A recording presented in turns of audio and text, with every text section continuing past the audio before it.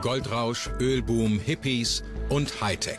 Kalifornien, die fünftgrößte Wirtschaftsmacht der Welt, ist und war schon immer einen Schritt voraus. Wir versuchen Schritt zu halten mit der Natur. Ob Verkehrskollaps oder Klimawandel, Probleme sind Ansporn und Scheitern gehört dazu. Meine größte Motivation ist es, die Welt zu retten. Uh, Hier trifft Kapital auf kluge Köpfe. Es gibt so viel Kapital. Es gibt jetzt, ich glaube, Billionen, ne? Trillions of Dollars. Rebellion und Unternehmertum sind kein Gegensatz. Frei von Ängsten und Selbstzweifeln ist alles erreichbar. Ob Tech-Guru oder mittelloser Student, in Kalifornien hat jeder seine Chance. Es gibt diesen Unternehmergeist. Die Post-Hippie-Generation will mehr als Geld verdienen. Sie tritt an, die Welt zu retten.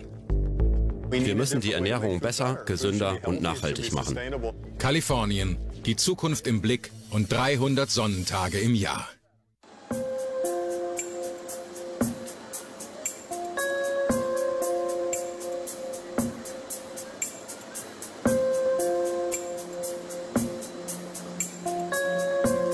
An der Technischen Universität in Pasadena nahe Los Angeles arbeitet man an der Rettung der Menschheit.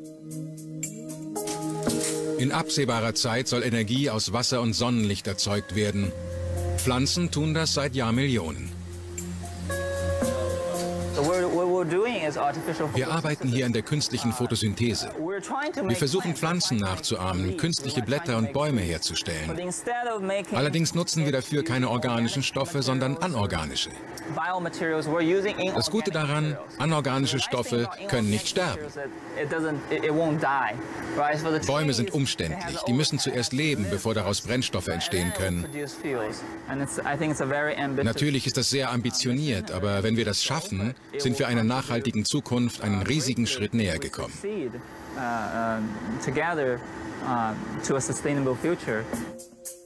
Dazu mussten die Wissenschaftler am eigens gegründeten Institut zunächst die Arbeitsweise der Pflanzen dechiffrieren.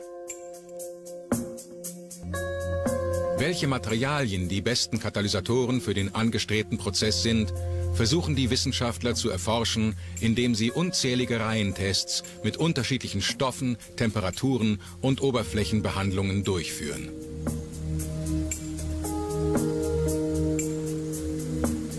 So entsteht eine riesige, weltweit einzigartige Datensammlung, die dann als Grundlage für die Weiterentwicklung dient. Wir suchen hier nach Materialien, deren Eigenschaften sich für die Herstellung von Treibstoff aus Sonnenenergie eignen. Sie sollten Licht sehr schnell absorbieren und die Energie effizient nutzen, um eine von uns gewünschte Reaktion anzutreiben. Vor wenigen Jahren hieß das, Wasser aufzuspalten. In Deutschland versuchen Forscher genau das zu tun. Sie suchen Stoffe, welche die Reaktionsenergie bei der Aufspaltung von Wasser senken. Das haben wir am JCAP in den ersten fünf Jahren der Forschung auch gemacht. In unserer zweiten Forschungsphase suchen wir immer noch sonnenenergiegetriebene Reaktionen.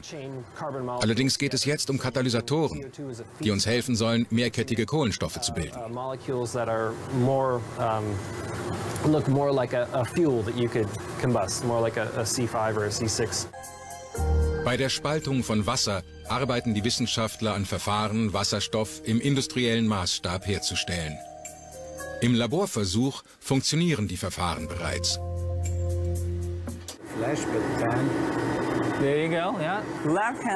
Sehen Sie, die linke Seite produziert Wasserstoff, die rechte Seite Sauerstoff. Wenn man das direkte Licht ausschaltet, müsste es aufhören, so wie jetzt. Im Wesentlichen können Sie sehen, dass die funktionalen Materialien schräg übereinander gestellt sind, wie eine Jalousie. Durch eine Membran getrennt wird hier Sauerstoff und Wasserstoff erzeugt. Die Katalysatoren sind lamellenartig angeordnet. Es sieht aus wie ein herkömmliches Solarpanel, das man sich aufs Dach stellen kann. Aber statt Strom produziert es Wasserstoff und Sauerstoff, wenn man das jetzt mit Wasser füttert.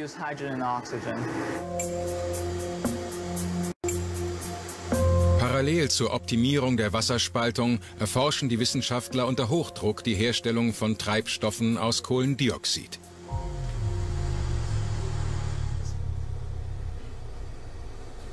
Das hier ist unsere Testzelle. Durch diese Leitung wird CO2, also Kohlendioxid und Wasserdampf eingeführt. Dort trifft es auf eine Katalysatorschicht. Das sieht so aus. Was da drin passiert ist, dass das Kohlendioxid über das Kupfer fließt. Wenn wir das Ganze dann unter Strom setzen, wird das Kohlendioxid mit dem Wasser reagieren und es entstehen unterschiedliche Produkte, wie etwa Ethylen, Ethanol oder Methylen. Das sind sehr nützliche Produkte für die industrielle Produktion oder als Treibstoffquellen. Wir versuchen Schritt zu halten mit Mutter Natur. Sie ist eine der besten Wissenschaftlerinnen überhaupt. Sie hatte Millionen Jahre Zeit, all diese Dinge zu tun. Einige Leute sagen, dass Photosynthese eigentlich ein ineffizienter Prozess ist. Die Effizienz liegt bei etwa einem Prozent. Schaut man sich aber die Produkte an, die gemacht wurden und wie sie Tag für Tag gemacht werden, kann ich nur sagen, der Mensch ist unglaublich weit davon entfernt. Wir sind immer noch dabei zu untersuchen, wie das eigentlich alles funktioniert. Wir müssen Grundlagenforschung betreiben, um die unterschiedlichen Photosysteme zu verstehen, welches die Katalysatoren sind und wie daraus Zucker wird. Was die Natur seit Jahrmillionen kann, wollen die Experten nicht nur nach, sondern besser machen. Die Energieausbeute soll zehnmal höher sein als die der Bäume und Büsche. I think that's classically what's happened with California. Usually California will start something. Das ist der klassische Weg von Kalifornien. Wir fangen an und die anderen Staaten kommen nach. Das hat natürlich mit den Erfahrungen zu tun, vor allem beim Thema Umwelt. Viele Studien und Verordnungen haben ihren Ursprung hier, weil es einfach große Umweltprobleme gibt. Und damit andere nicht dieselbe Erfahrung machen müssen, geht Kalifornien voran und sagt, lasst uns da einen Riegel vorschieben. Lasst uns das beenden. Wir haben hier in LA so viel Smog, aber das will doch keiner von uns hier. You look at LA County, there's a lot of smog here, you know, and that's something we don't want everywhere. Beim Erzeugen von Problemen, ob Umweltverschmutzung, exzessiver Energieverbrauch oder CO2-Ausstoß, Kalifornien ist immer in der Spitzengruppe. Doch auch beim Lösen der Probleme sind sie immer voraus. Ich würde nicht davon reden, dass wir den Planeten retten, aber ich freue mich darüber, dass ich bei einer Sache mitmache, die gut für alle Menschen ist. Wir wissen doch, dass es den Klimawandel gibt und dass CO2 ein Treibhausgas ist.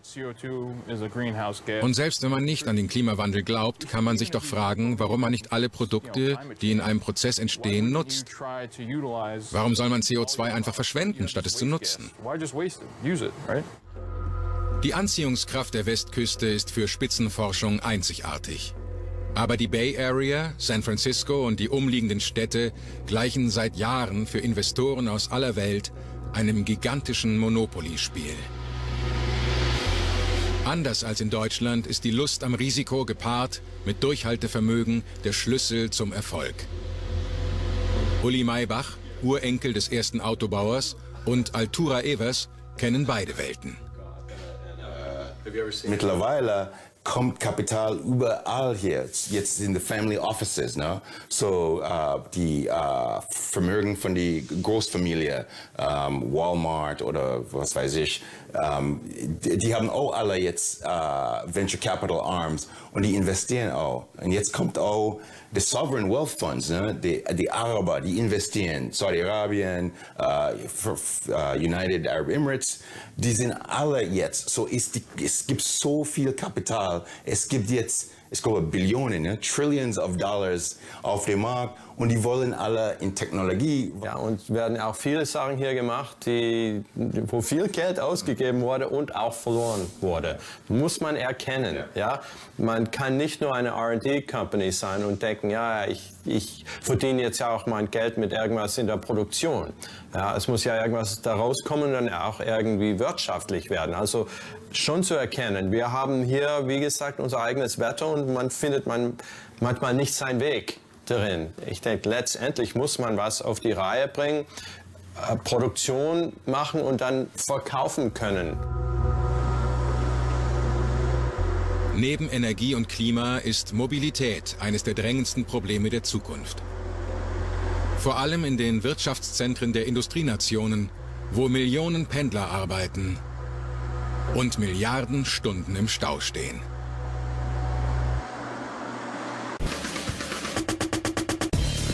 Doch natürlich aus Kalifornien kommt eine Idee, die, ähnlich wie das erste iPhone, den Markt durchwirbeln könnte.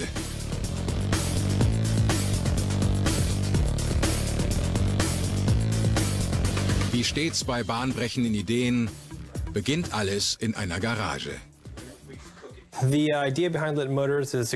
Meine Idee war es, das perfekte Pendlerfahrzeug zu schaffen. Man könnte gut damit zur Arbeit fahren. Man kann es einfach parken. Es ist sehr leicht und sparsam. Man käme mit einem Dollar ungefähr 150 Meilen weit. Das ist die Zukunft des Transports. Das ist das Ford Model T des 21. Jahrhunderts.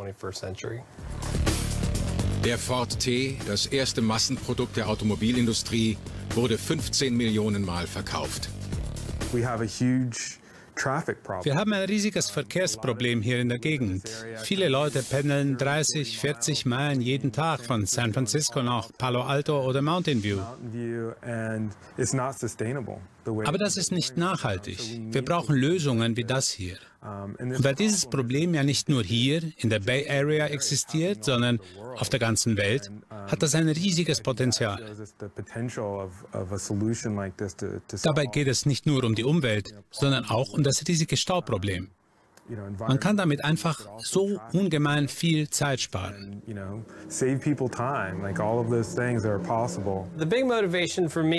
große Motivation, die dahinter steckt, war wirklich die Welt zu retten.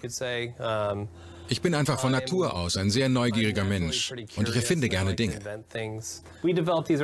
Die hier haben wir selbst entwickelt. Das sind Kreisel zur Stabilitätskontrolle. Bisher hat man die nur in der Raumfahrt angewendet für die Ausrichtung von Satelliten. Wir haben die zurück auf den Boden geholt für die Pendler.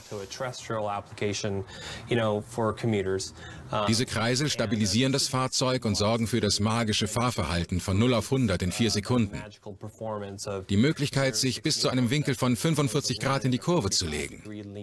Wir glauben, es wird schneller sein als eine MotoGP-Rennmaschine.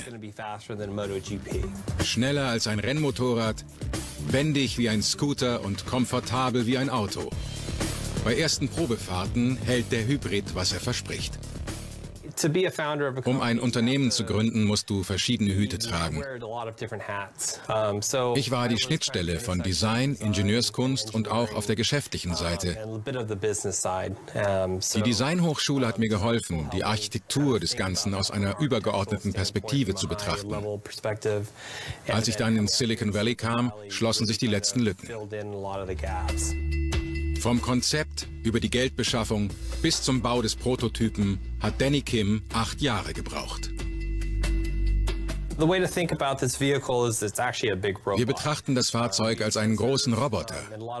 Wir haben Sensoren an allen möglichen Stellen, die das Fahrzeug überwachen.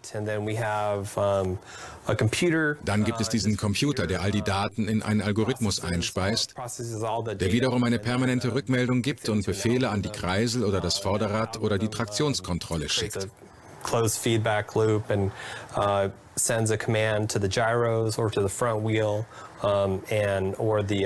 motor. Und all diese Dinge sorgen dafür, dass das Fahrzeug aufrecht und jederzeit in Balance bleibt.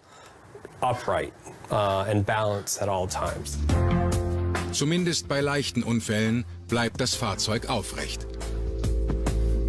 Sogar auf Glatteis kann man damit fahren. Bei Vergleichstest mit einem Motorrad wurde die Standfestigkeit des fahrenden Roboters eindrucksvoll vorgeführt. Den Mythos Kalifornien gab es bereits vor dem Land. Rund drei Jahrzehnte bevor der erste Europäer an der Westküste anlegt, beschreibt der spanische Ritter und Poet Gassi Rodríguez de Montalvo eine traumhafte Insel westlich von Indien. Eine wilde Landschaft, geprägt von riesigen, zerklüfteten Felsen. Allein die Reise hatte er nie unternommen. In seiner Fantasie war hier das Paradies, ein Land voller Reichtümer und Gold, ähnlich wie Atlantis. Herrscherin über die Schätze war Königin Khalifa. Sie befehligte ein Heer von kampfbereiten Amazonen.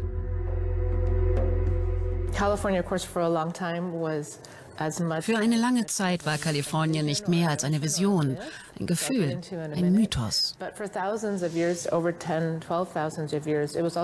Dabei war es auch für 10.000 bis 12.000 Jahre die Heimat der vielfältigsten Urbevölkerung auf dem ganzen Kontinent. Die meisten Historiker, die Anthropologen und Archäologen glauben, das hat damit zu tun, dass jeder Stamm sich auf das jeweils vorherrschende Mikroklima einstellen musste.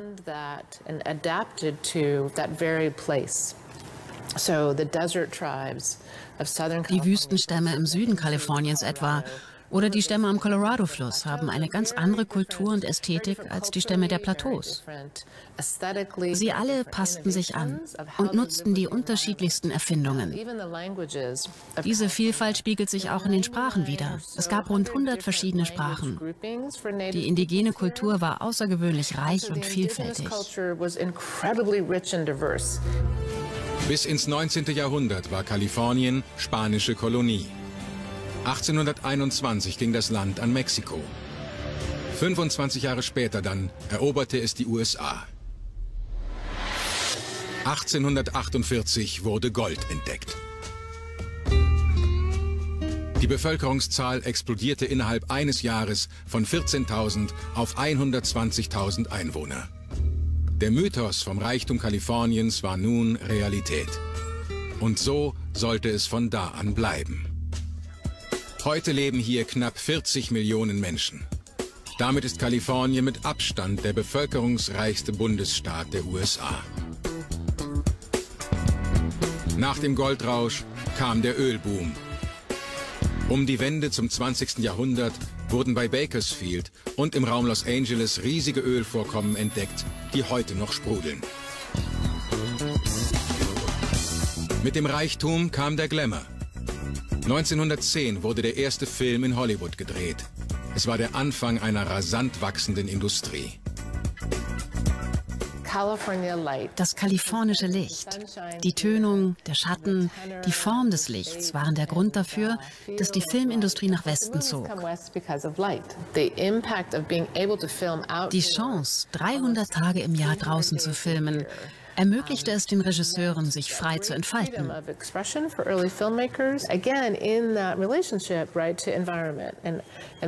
Heute sehen wir, dass die Filmindustrie mit all ihrem Erfindungsreichtum sich mit der Digitaltechnik und den Ideen aus dem Silicon Valley verbindet. Has, of course, marries the, the dramatic um, um, kind of boom of Silicon Valley, what, of course, when it comes to digital technology. Die Wechselwirkung zwischen Science Fiction und Realität beflügelt bis heute den Aufschwung Kaliforniens.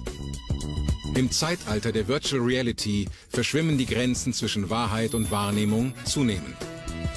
Für den Two-Bit Circus ist das Programm. Ich bin Eric Grantner. Und ich bin Brent Bushnell. Wir sind zwei riesengroße Nerds und wir haben zusammen Two-Bit Circus gegründet. Wir haben den Jahrmarkt neu erfunden. Den Jahrmarkt der Zukunft.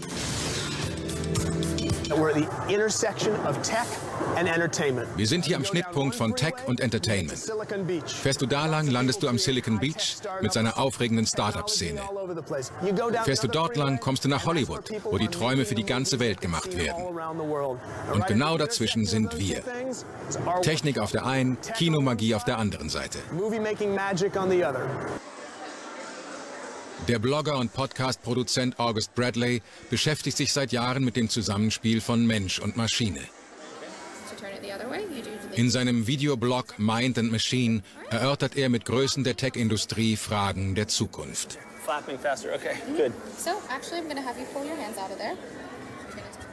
Aber alles, worüber er berichtet, probiert er auch aus. Ich sehe ein riesiges prähistorisches Tal mit einem riesigen Wasserfall. Oh Gott, jetzt tauche ich ein in einen lichten Wald, sehe einen Brontosaurus am Ufer. Wow.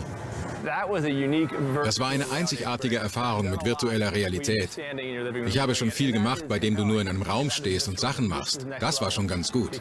Aber das da hinten, das ist die nächste Stufe. Die Bewegung und die Art und Weise, wie die Schwerkraft sich auf deinen Körper auswirkt, das kann man alles spüren.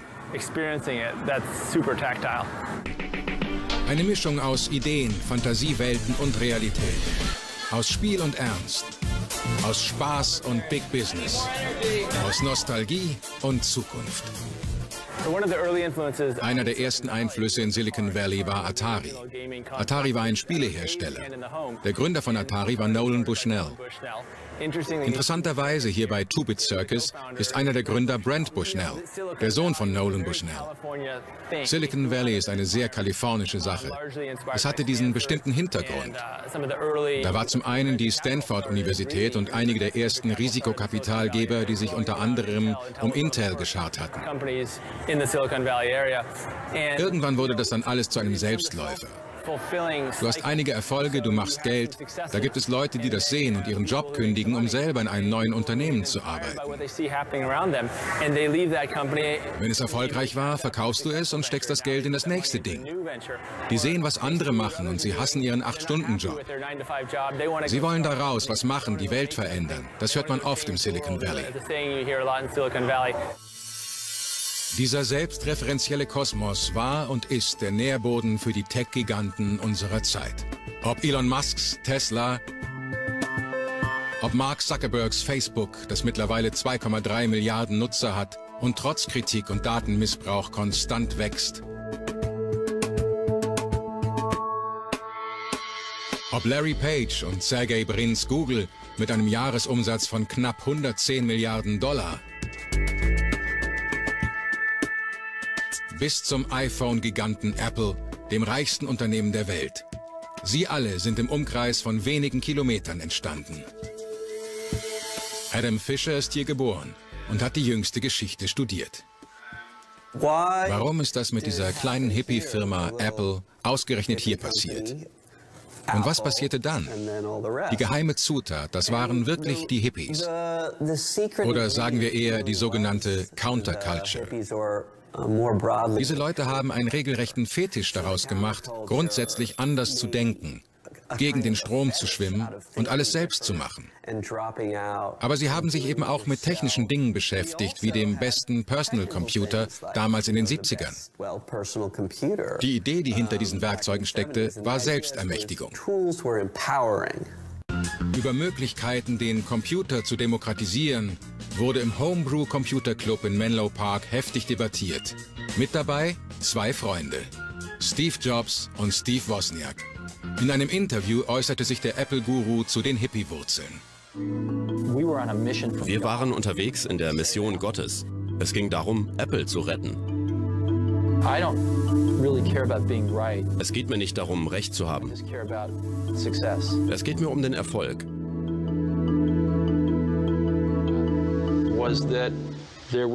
Da war mehr dahinter. Mehr als das, was du sehen konntest. Es ging um mehr im Leben als nur um den Job, eine Familie, zwei Autos in der Garage und eine Karriere. Es gibt da diese andere Seite der Münze. Etwas, worüber wir nicht viel reden.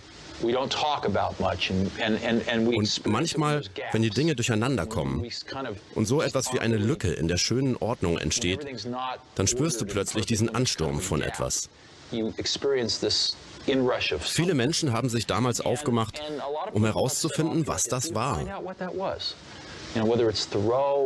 Man beschäftigte sich mit Thoreau oder mit indischer Mystik. Die Hippie-Bewegung wollte das ergründen. Für die Söhne und Töchter der Hippies ist die Freiheit des Denkens noch immer das teuerste Gut.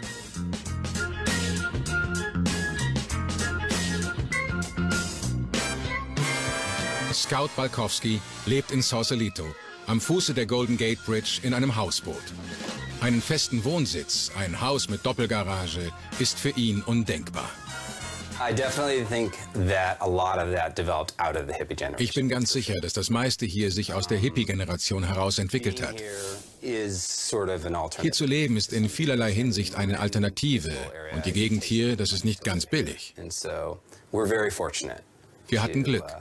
Uh, Wir sind finanziell am unteren Ende der Skala, das steht fest. Aber es ist wunderbar hier. Und wenn man die Ideen der Hippie-Bewegung so sieht, dann ja, dann würde ich mich dazu zählen. Die Hippies von Sausalito sind mittlerweile in die Jahre und zu gewissem Wohlstand gekommen. Doch die Freiheit, jederzeit Segel setzen zu können, auch wenn das nur eine Illusion ist, lassen sie sich nicht nehmen. Auch die zweite Hippie-Generation hat Unternehmertum im Blut. Ein fester Job kommt für Scout Balkowski nicht in Frage. Erst hat er Autos umgebaut, nun hat er den Zeitgeist erkannt und baut E-Bikes. Das hier war eigentlich bereits eine Verbesserung. Ich habe, bevor ich herkam, in einer Jurte gelebt und davor vier Jahre lang in einem Auto. Die Gelegenheit, auf einem Hausboot zu leben, war dann wirklich sehr schön. Aber nicht so konventionell wie ein richtiges Haus.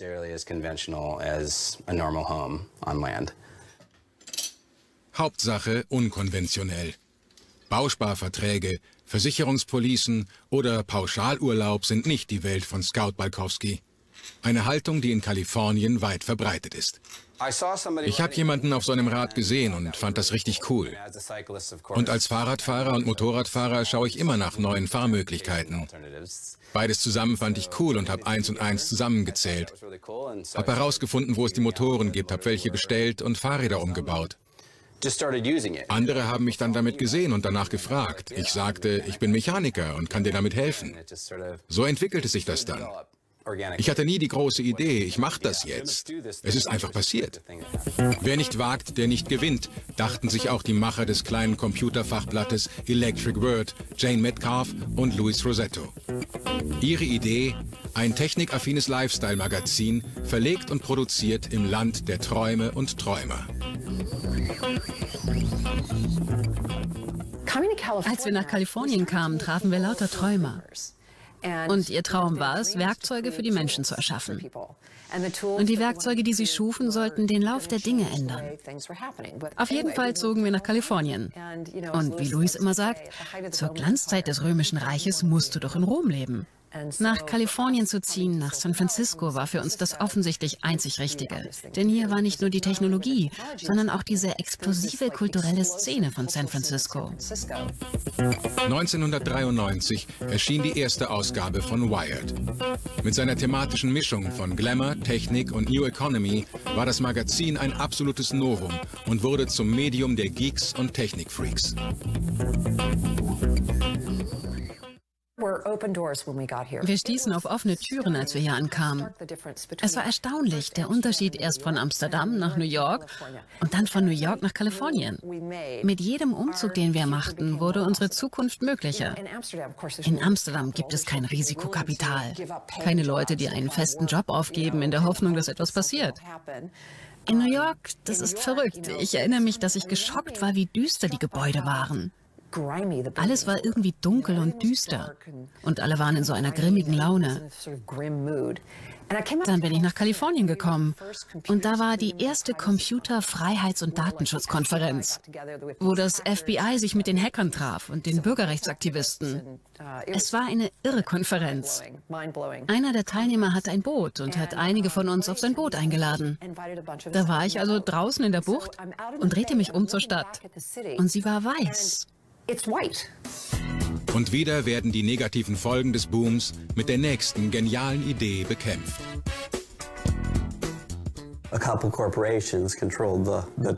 Es sind einige wenige Konzerne, die die Tourismusindustrie kontrollieren. Eigentlich ist das die größte Industrie in San Francisco, sogar größer als die Tech-Industrie. Dann kam Airbnb, kreuzte die digitale mit der realen Welt und höhlte die Hotelindustrie aus, ließ sie in die Knie gehen. Das ist eine Art Gegenkultur. Diese Nerdkultur, wie ich sie nennen würde, das ist, wenn man so will, ein Hybrid zwischen der Counterculture und der Tech-Kultur. Das ist jetzt eine eigene Kultur. Airbnb, das kommerziell genutzte Netzwerk im Internet für Buchungen und Vermietungen von privaten Unterkünften, zählt zu den vier wertvollsten digitalen Start-ups weltweit. Der Börsenwert liegt bei 31 Milliarden Dollar. Die Gründer Brian Chesky, Joe Gebbia und Nathan Blekarczyk waren mittellose Studenten. Airbnb wurde vor zehn Jahren gegründet. Und alles begann, als zwei unserer Gründer, die in San Francisco lebten, Schwierigkeiten hatten, ihre Miete zu bezahlen. Da stand gerade eine große Designkonferenz an und San Francisco hat, wie so viele Städte, einen Mangel an Hotelzimmern. Also konnten viele Konferenzteilnehmer keine Übernachtungsmöglichkeit finden. Da haben die beiden Gründer gedacht, wir haben doch Luftmatratzen und ein bisschen Platz in der Wohnung. Lasst uns doch eine Website aufsetzen und sehen, ob jemand zu uns kommen will. An dem Wochenende haben gleich drei Leute bei ihnen übernachtet. Und sie haben gemerkt, dass viel mehr hinter der Idee steckte, Menschen in der eigenen Wohnung zu empfangen und ihnen eine ganz andere Erfahrung zu vermitteln. Das war der Anfang von Airbnb. Einige Jahre später stehen wir hier und haben ein rasantes Wachstum hingelegt. Wir sehen eine Veränderung, wie Leute ihre Wohnungen nutzen oder freie Räume, wie Leute reisen. Für uns ist es aufregend zu sehen, wie die Menschen mit Räumen umgehen, aber auch wie sie andere Menschen und Kulturen erleben. Fünf Millionen Unterkünfte in 85.000 Städten können auf der Airbnb-Plattform mittlerweile gebucht werden. Darunter 3000 Schlösser und 2200 Baumhäuser.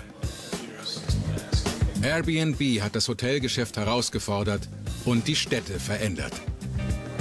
Und die sogenannte Sharing Economy, das Teilen von Ressourcen und Dienstleistungen, ist erst am Anfang.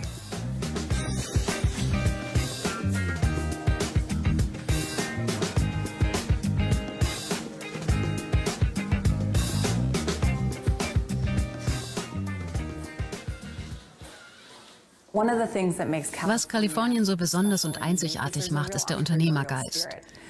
Es geht immer darum, lass uns was versuchen und sehen, ob es funktioniert. Und da ist keine Angst vor dem Scheitern. In mancherlei Hinsicht wird Scheitern hier sogar richtig gefeiert.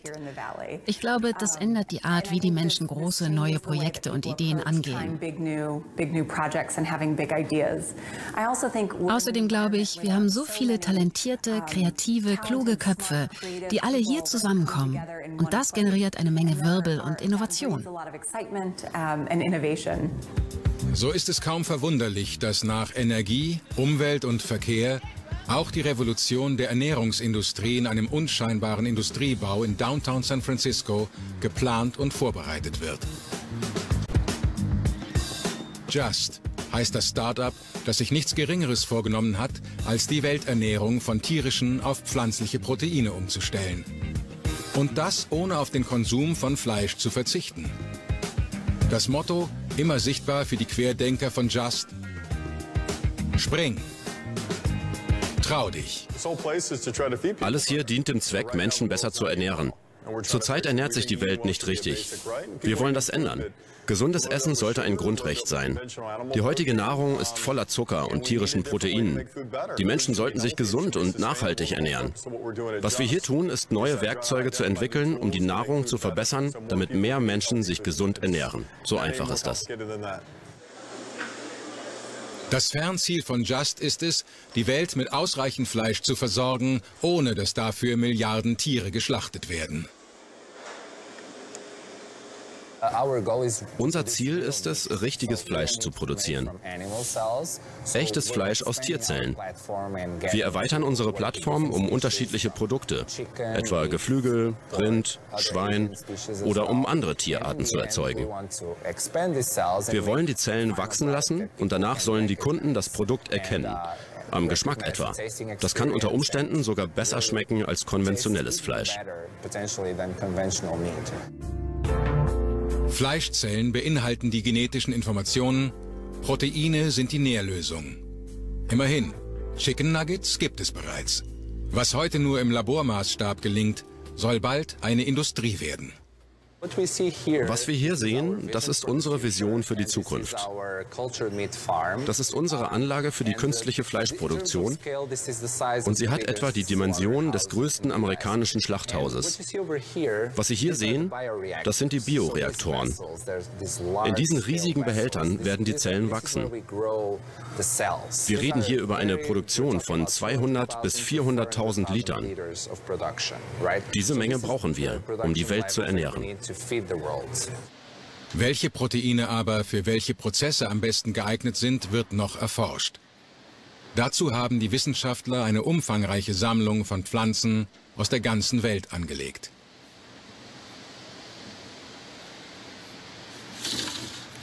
Udi Lassimi ist Chefbotaniker bei Just und reist in die entlegensten Winkel der Welt auf der Suche nach exotischsten Samen. Dabei kommt es darauf an, dass sie eine möglichst gute Proteinquelle sind und als pflanzlicher Nährboden für tierisches Eiweiß eingesetzt werden können. Das Zellenwachstum, das im Körper der Tiere stattfindet, soll später einmal in Bioreaktoren ablaufen. Uh in diesem Raum lagern wir alle Pflanzen, die wir rund um den Globus in mittlerweile 60 Ländern eingesammelt haben. Ich reise in alle Ecken der Welt, um unterschiedliche Materialien und Pflanzen zu sammeln. Die werden dann mit unseren molekularen und funktionalen Testsystemen analysiert. Das ist ein automatisiertes System mit einer extrem großen Durchlaufgeschwindigkeit. So können wir potenzielle Anwendungen entdecken. Angesichts der weltweit mehr als 300.000 Arten hat der Botaniker noch viele Entdeckungsreisen vor sich. Erkundung ist eine meiner großen Leidenschaften. Völkerkunde und agrarhistorische Wissenschaften kommen zusammen, um unser Wissen hier zu bereichern. Meine Kriterien bei der Suche nach Proben sind Fragen wie, wo gibt es die höchste Biodiversität? Wo leben Gemeinschaften, die dafür bekannt sind, nur lokale Pflanzen zu verwenden? Dadurch haben sie eine große Vielfalt an Arten in ihrer Landwirtschaft und somit auch in ihrer Ernährung. Und das Wichtigste, ich knüpfe Kontakte. Jede Probe wird im Labor in Bezug auf ihre molekularen Eigenschaften analysiert. Erst werden Proteingehalt und Hitzebeständigkeit bestimmt, dann geprüft, ob das Protein bindet, ob es bräunt oder geliert. Uh, Haben wir erstmal die wichtigsten Bestandteile für unsere Studien extrahiert, bestimmen wir die Proteine. Mit diesem Gerät können wir sehr schnell unterschiedliche Versuche machen und erkennen anschließend an der Farbe, in welchen Extrakten mehr Proteine sind. Je dunkler das Grün, desto höher der Proteingehalt. Mit Hilfe dieses Prozesses können wir sehr schnell die vielen Pflanzen aus den verschiedenen Regionen klassifizieren. Das geht schneller, als jede Probe einzeln zu analysieren. Wir kommen so zu einem Grundwissen und da kommen unsere IT-Spezialisten ins Spiel, die uns helfen, die Daten zu interpretieren. Riesige Datenmengen werden mit speziellen Algorithmen sortiert und für die Forscher aufbereitet. Die meisten Anlagen, die wir hier benutzen, kommen aus der Computertechnik. In der Lebensmittelindustrie ist man eher konservativ in der Benutzung solcher Technologien. Dazu kommt, das sind riesige Investitionen. Unsere Firma glaubt an Innovation und sucht nachhaltige Lösungen. Deshalb müssen wir bei unseren Forschungen neue Wege gehen. Mit diesen Technologien haben wir das richtige Werkzeug beisammen. Unser internationales Team arbeitet dann an der Lösung der Probleme.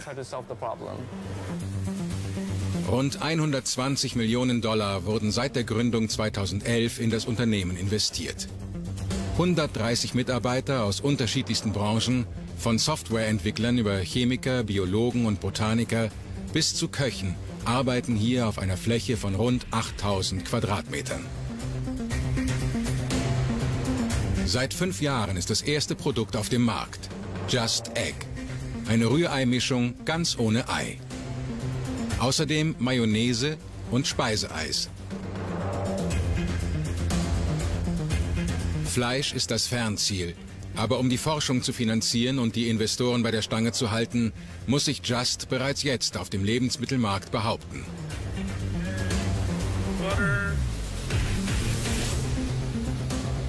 Die Produkte, so das Credo von Just, sollen gesund, nahrhaft, nachhaltig und ethisch sein.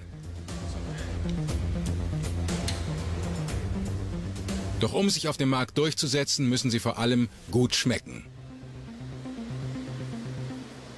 Um das zu gewährleisten, stehen hier gleich mehrere Spitzenköche in der Probeküche.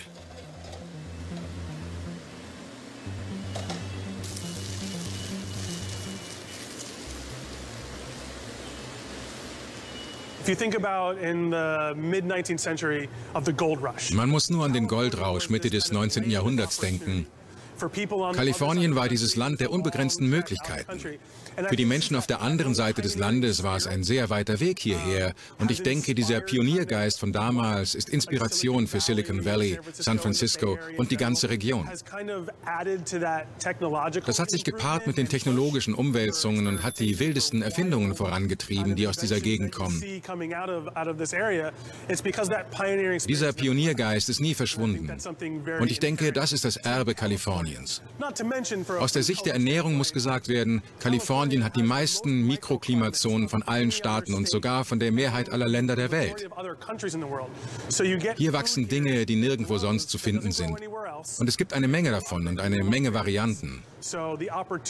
Also die Möglichkeit, sehr unterschiedliche Dinge zu probieren, ist etwas, was dieses Land sehr besonders macht. 1300 Kilometer Küste, 4400 Meter hohe Berge, 300 Sonnentage. Die klügsten Köpfe, coolsten Städte und Geld ohne Ende. Kalifornien bleibt wohl noch lange, was es ist. Das Zukunftslabor der Welt.